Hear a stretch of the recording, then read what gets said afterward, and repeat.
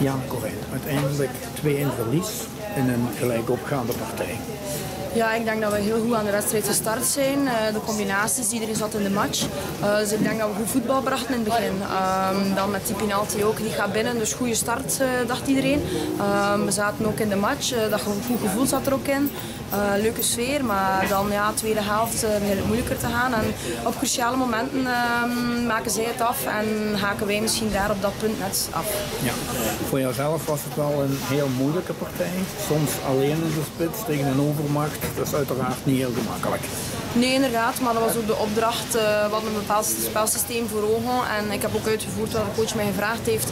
Dus ik heb uh, allee, 100% alles gegeven en als dat ook betekent veel lopen, ik weet dat is ook een van mijn kwaliteiten, dan doe ik dat met volst plezier, maar helaas levert dat nu wel geen, op, uh, geen overwinning op.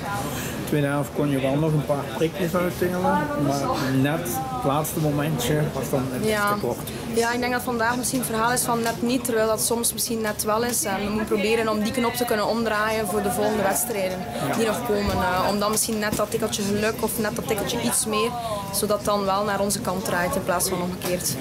Deze dubbele confrontatie heeft het zeker niet gebracht wat we gehoopt hadden waarschijnlijk. 1 op 6. Ja. We hadden wel meer. Ja, nee, natuurlijk. Ik denk dat iedereen uh, voor beide wedstrijden vol voor de winst zou gaan. Dat was ook uh, ons doel.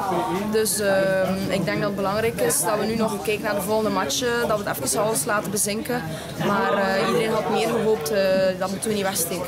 Ja.